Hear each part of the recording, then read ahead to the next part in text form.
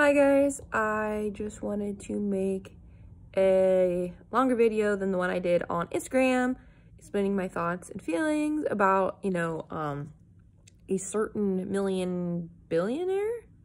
Uh, yeah. So before I go any further, this is all alleged for entertainment purposes, so I don't get sued. But anyway, the person I am referring to is Oprah. And so, you know, this all started probably, yeah, like six months ago, five months ago, around that area. I had watched an interview between her and the Olsen twins when they were children. And when I, you know, watched it, I got this really nasty feeling about her. Um, I'm not going to say any specifics of what I think. All I can say and will say is that I honestly think she is shady as fuck. Um, I also think she's done some criminal uh, things, questionable things. Uh, and um, I wanted to get this video out here before anything happens. Hopefully nothing happens. Like, I don't want to be right. I really don't want to be right just because she's so influential. You know, she's so giving. Um, I mean, yeah. So I do want to state that there was this tweet that Rose McGowan made against her saying she's fake as fuck, which I also believe that. But I didn't see that tweet until today. And this is part of the reason I want to make the video because I I thought I had texting or, you know, text proof between um, friends and stuff stating this feeling that I've had for months, but of course can't find them. So I'm guessing I did it all over a phone call. So I can't, I don't have proof. And so before anything happens, hopefully nothing does happen, I at least will have this video documenting proof. But yeah, again, I don't want to be right. So yeah, I honestly got this nasty feeling and it's the feeling I usually get towards, well, criminals. And I mean, I'm sure part of my education helps too when trying to decipher if someone is shady or not just because I do have experience with criminal profiling, reading people. Um, I'm pretty good at like a, being a lie detector. I had to learn from a, you know, young age with having a uh, family member who did some things that are not so good. Not my like immediate, immediate family, of course, but I was around somebody that did some shady shit. And very quickly, I had to learn if that person was lying or whatever that person was up to. The agenda, I guess. And so ever since then, I've been really good at detecting when people are no good.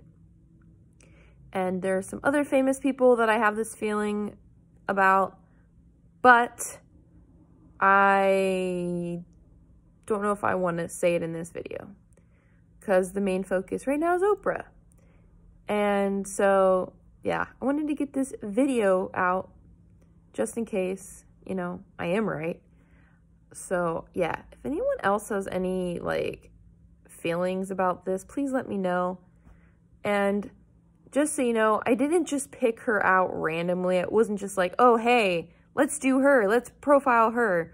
Or let's evaluate her, you know, psychology-wise. Because, you know, you guys that have family members or know somebody that is a psychiatrist or psychologist, they like to, you know, meddle in your business and just, you know, analyze you. I guess psychoanalyze you. And a lot of people fucking hate it as do I. My mom used to work at a, uh, I guess it was called the Caron Foundation. So, like, for people that had addictions and stuff. So, she had to learn some psychological tricks and stuff. And so, and she had a friend who liked to uh, psychoanalyze people. And it wasn't fun, okay? It fucking sucks. But this was no way like this kind of situation. I didn't just say, okay, let's do Oprah. No, I just happened to, you know, be on YouTube and watch that interview with her and the Olsen twins. And then that's when it started. I was just like, oh, fuck, this isn't good. This isn't good. This isn't good. Um, so yeah, I'm not to say whether or not she's a demon. I didn't look for that. I haven't been looking for that specifically. I was just going off of my feelings to try to figure out whether or not, I don't know, I was just trying to figure out this feeling I had and then it just, it, it just, yeah. So those that I have dealt with, with criminal behavior, bad behavior, um, addictive and abusive behavior, she, I'm not going to say she's an addict or anything. I don't think that at all. I don't think it's drugs related or anything. I don't, yeah. I just think there's a lot of money involved, of course, because, you know, she's rich as fuck. But also, yeah, I don't, I don't want to be specific because, again, I don't want to get myself in trouble. So, yeah, I'm just going to say shady. I feel that. Um, criminal behavior. Mm, I know. I know um, those. Okay, I will also say this too. From the education that, you know, I've learned in school, you know, and my white collar crime classes, right? So white collar crime is usually those that are millionaires, billionaires. They're pretty much the CEOs, and they usually get in trouble for mo uh, money laundering and stuff. Now, I don't think that about Oprah. I don't think she launders money because she's fucking rich. She, she doesn't need to. But the point is that a lot of them, a lot of them are actually sociopaths, right? And um, so the sociopath, if you don't know what it is, it's pretty much uh, not having empathy, right? But it's something that they've learned from their environment, okay? So it's different from a psychopath because a psychopath is born that way. There's just something not chemically right in their brains, right? Where a sociopath is they are not born that way. It's something they learned from their environment. Um, usually those who have suffered abuse, which uh, we all know Oprah has, okay? It's what she has, you know, dealt with is very, very traumatic for anybody, okay? And I'm not calling her a sociopath, but I am going to draw parallels. Um, I mean, I don't know too much about Oprah because I didn't do a lot of research just because I didn't want the research to alter my perception of my feelings that I'm getting. I kind of wanted to go into this like blank, if you know what I mean, without knowing much information. But anyway, back to sociopaths. Um, learn from their environment. So those that have suffered tremendous abuse, um, drug abuse, um, there's also studies where like if they get hit on the head and they've sustained a head injury somehow, whether it's an accident or from abuse or whatever, that fucks it up like chemically and so they can turn into a, a sociopath. One example of that is that um, through studies they believe richard ramirez aka the night stalker that could have been part of how he became a sociopath. And if you don't know who richard ramirez is go and watch my video on the night stalker. Um it's two-parter but yeah so yeah, you can get head injuries that could just, you know, mess you up. And um, obviously he had other things going on for him, like um, his, I don't know if it was, I forget if it was his cousin, killed his wife in front of him, um, or how he showed him pictures from when he was in the military or Vietnam more. I don't remember. Honestly, it's been a long time since I've, you know, gone through that case. But showing him like mutilated, dead people, tortured people, yeah, that's gonna fuck up your psyche. Um, so Oprah, we know she had been abused as a child. And so usually, not all the time. I shouldn't say usually, that's bad to say. So um I would say a decent percentage, okay, of those that have sustained sexual abuse, right, tend to, well, warps up their mind and stuff, but it tends to carry on through them too in some fashion. So whether they abuse somebody else um, or uh, murder, I don't think she's killed anybody, obviously. Um, I don't know. What are other things could, uh, just physical abuse, just like not even sexual abuse itself too, but like it could carry on into many forms of abuse, whether it's physical or, you know, uh, psychological. There's just some things that happen. And I don't want to put labels on her at all. And again, this is all alleged. But I'm just trying to explain, like, sociopaths and stuff. Um, I don't know if she's a sociopath. I, I haven't, like, analyzed a bunch of her videos. I should. Uh, it's good practice, but I just wanted to share my feeling, really. Oh, and the thing about white collar crime, right? Because I kind of just went off on my tangent.